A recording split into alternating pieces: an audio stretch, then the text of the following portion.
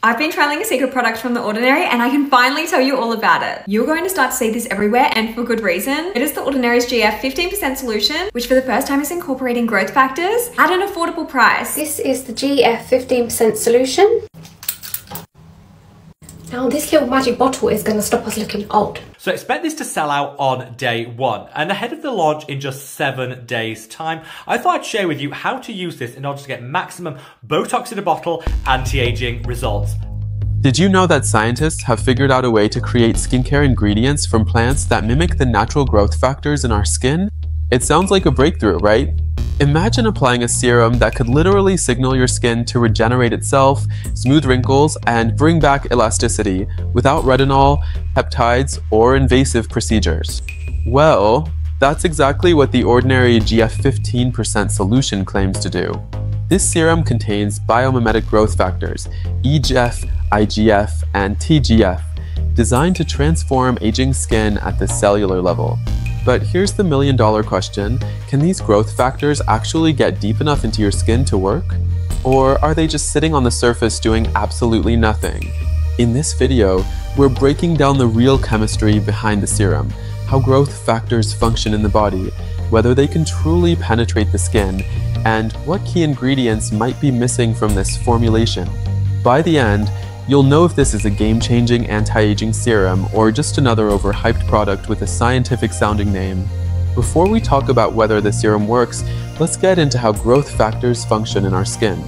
Growth factors are proteins that act as chemical messengers, telling cells to regenerate, repair, and build more collagen and elastin. Your body naturally produces them, but as you age, their levels decline dramatically, which is one of the reasons skin loses firmness and starts forming wrinkles. Medical researchers have used growth factors for decades in wound healing, burn treatments, and regenerative medicine. Some high-end skincare brands have incorporated human-derived or synthetic growth factors into their formulas, and now The Ordinary has entered the game with a plant-based alternative. Sounds promising, right? But here's where things get tricky. Growth factors are large protein molecules and the skin barrier is extremely selective about what it lets through.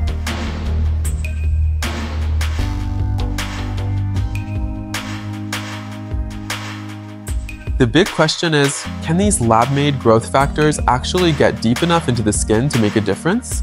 To understand whether the serum works, we need to talk about molecular size. The outermost layer of your skin, the stratum corneum, is made of dead skin cells and lipids that act as a barrier against large molecules, bacteria, and environmental toxins. For a skincare ingredient to penetrate beyond the surface, its molecular weight needs to be below 500 Daltons, a principle called the 500 Dalton rule. Most active ingredients in skincare, like retinol, about 300 Daltons, vitamin C, about 176 Daltons, and niacinamide, about 122 Daltons, easily pass through. But here's the issue. Growth factors like EGF, IGF, and TGF are huge molecules, typically over 6,000 Daltons. That's 12 times larger than what the skin barrier allows.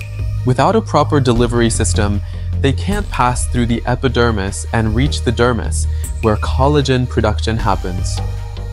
This is why medical professionals use microneedling or injections to apply growth factors, because simply applying them to the surface of the skin isn't enough. So, does the Ordinary's GF 15% solution have a delivery system that solves this problem? Based on its formulation, no. There's no nanotechnology, liposomal encapsulation, or penetration enhancers included, which means these growth factors are likely just sitting on the skin's surface. If you love this kind of deep dive skincare science, make sure to hit that like button and subscribe. I break down skincare formulations so you don't waste your money on products that don't deliver. Now, let's get back to the breakdown. What's inside and what's missing? Besides the growth factors, let's look at what's actually in the serum. It contains glycerin and butylene glycol, which are humectants. These are great for hydration. They pull water into the skin, making it look temporarily plumper and smoother. However, this effect is short-term and doesn't contribute to long-term wrinkle reduction or firmness. Then we have sclerotium gum, a polysaccharide that thickens the formula and gives it a nice gel-like texture. It helps with moisture retention, but it's not an active anti-aging ingredient. So, what's missing? 1. No penetration enhancers. Since growth factors are too large to enter the skin, the formula would need liposomes, fatty acids, or peptides that can act as carriers. Without them, these proteins likely won't reach the deeper layers where they need to work. 2. No retinoids or peptides. Retinoids like retinol or retinaldehyde are the gold standard for increasing collagen production, but they aren't included. Peptides like matrixyl can also boost collagen, but this formula doesn't have them either. 3. No strong antioxidants. Ingredients like vitamin C or resveratrol protect against free radicals that cause wrinkles and sagging. Growth factors work better in combination with antioxidants, but none are present here. 4. No occlusives for barrier repair. If the goal is long-term skin health, ceramides, cholesterol, and fatty acids would be important for strengthening the skin barrier. These are missing from the formula. So while this serum hydrates and softens the skin, it doesn't have the ingredients needed for long-term anti-aging effects.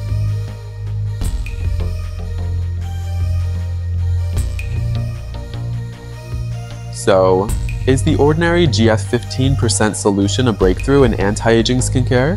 Not exactly. What it does, provides hydration that temporarily plumps the skin, smooth skin texture at the surface, could help with post-microneedling recovery. What it doesn't do, penetrate deep enough to stimulate real collagen production, firm the skin in a lasting way, provides strong anti-aging effects on its own. If you're expecting real wrinkle reduction and skin tightening, this serum alone won't be enough. To actually improve collagen and elasticity, you'd need retinoids, peptides, and a good sunscreen. What do you think? Have you tried growth factor skincare before? Let me know in the comments. And if you want more science-backed skincare content, subscribe. I break down products so you don't have to.